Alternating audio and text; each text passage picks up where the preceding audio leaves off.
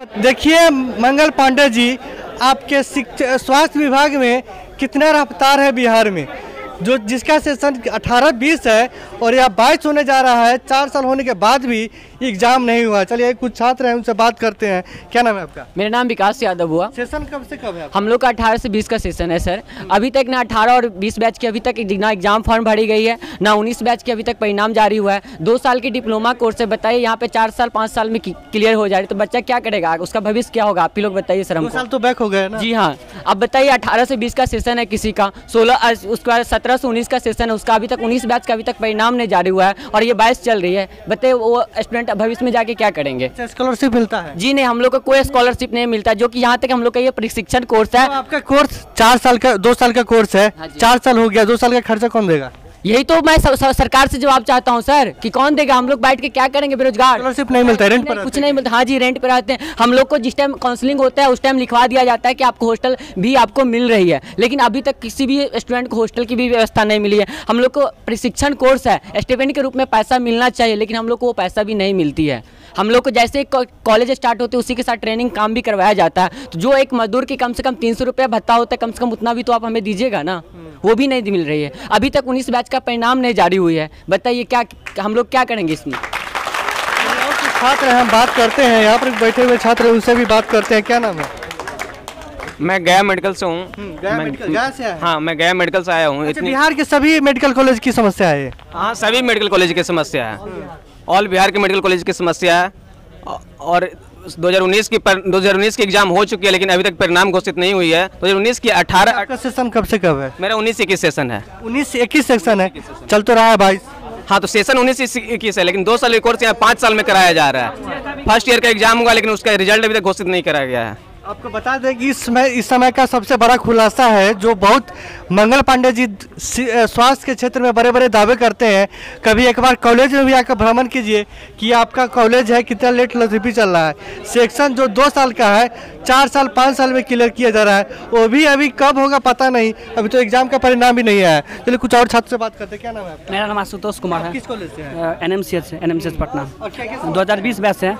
हाँ समस्या ये है कि जैसे मैं 2020 में मेरा एडमिशन हुआ बाईस साल अभी तक फ़र्स्ट ईयर का यहाँ पर एग्ज़ाम कंट्रोल के द्वारा डेट नहीं जारी किया गया। उन्नीस बैच वाले का जैसे कि जब तक रिज़ल्ट नहीं अठारह बैच वाले हम लोग का एग्ज़ाम होगा अठारह बैच वाले बीस बैच वाले के साथ होगा। लेकिन अभी तक कोई कुछ इस प्रकार इसलिए इस लेकर हम लोग यहाँ पर धरना प्रदर्शन पर बैठे हुए हैं। स्टेफन हाँ। वगैरह कुछ नहीं मिलता हम लोगों को कुछ तक जैसे कभी नहीं मिला एक भी होता कि हम लोग का डीसीसी से एग्ज़ाम दे के आते हैं। डीसीसी के थ्रू से ही जेएनएम वाले का जेएनएम का कोर्स होता है। जेएनएम वाले को स्टिपेंड मिलता है जो यहाँ पर जो पर- पारिश्रमिक राशि होता है। लेकिन हम लोग को नहीं दिया जाता। जी वाला को मिलता है तो फिर बारह पेंट क्यों नहीं मिलेगा? वही वही तो वही तो वही यही रीजन हॉस्टल मिलता हम लोग हैं। हाँ। हाँ मांग पहले कोई लेटर वगैरह जारी किया हाँ इससे पहले बहुत सारा हुआ है बहुत सारा।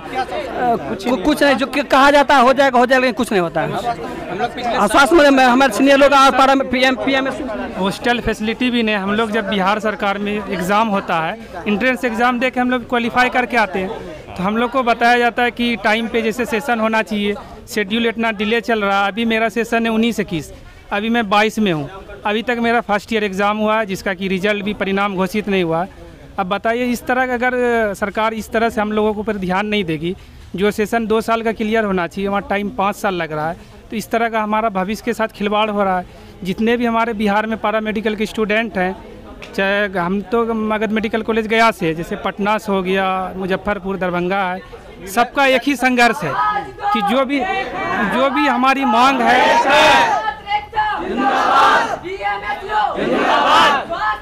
जो भी हमारी मांग है उनको सरकार से निवे, नर्म निवेदन है कि हमारी मांग को जल्द से जल्द पूरी करे टाइम पे एग्ज़ाम ले टाइम पे उसका परिणाम घोषित करे ताकि बच्चा अपने टाइम पीरियड में पास आउट होकर के कहीं भी जॉब के लिए वो अपना अपॉर्चुनिटी मिले और जॉब पे जाकर अपना आखिर बिहार में डबल इंजन की सरकार इतना दावा करती है कि स्वास्थ्य क्षेत्र में बिहार में सुधार हो रहा है। कहाँ से सुधार हो रहा है? तस्वीर अगर सुधार होता तो आपको तस्वीर सामने नज़र नहीं आता। चलिए और, कुछ छात्राएँ हैं उनसे बात करते हैं। क्या नाम है आपका? खुशबू खुशी। का, अब किस कॉलेज से हैं? पीएमसीएच से। पीएमसी से हैं। ट्वेंटी बैच है मेरा। हम्म। यहाँ पे मतलब कोर्स दो साल का है और अभी तक कोर्स फॉर्म तक नहीं भरा जा रहा है। यही ज़िंदगी में मत, बस, बस यही? बीस से बाईस। बीस से बाईस है। लेकिन अभी एग्ज़ाम हुआ है। नहीं। इसके बाद फॉर्म भी नहीं भरा जा रहा है। कुछ नहीं है। घर के खर्चे यहाँ से जो भी रहते होंगे रेंट पर रहते हो किसी खर्चे चलाते हैं। फैमिली देती है वही तो प्रॉब्लम है ना।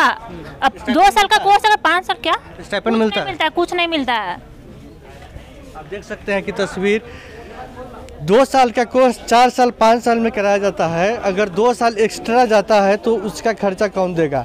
रहने का पटना में मिनिमम एक व्यक्ति का रहने का खर्चा मीन छः से सात हज़ार रुपया है। आखिर वह भरेगा कौन? और जो मंगल पांडे जी इतने बड़े बड़े दावे करते हैं, डबल इंजन की सरकार, कि स्वास्थ्य क्षेत्र में सुधार हो रहा है। कहाँ से सुधार होगा? आपका तो कॉलेज इतना लेट चल रहा है सेशन तो अच्छे मेडिकल जो स्टूडेंट है, कहाँ से पास आउट कर पाएँगे? फ़िलहाल खबर में इतना ही, बने रहिए ट्वेंटी टू टुडे के साथ। हमसे जुड़े रहने के लिए हमारे YouTube चैनल को सब्सक्राइब करें और नई वीडियो की नोटिफिकेशन के लिए बेल आइकॉन को दबाएँ। अगर आप ये वीडियो Facebook पर देख रहे हैं तो लाइक ज़रूर करें और ज़्यादा से ज़्यादा शेयर करें धन्यवाद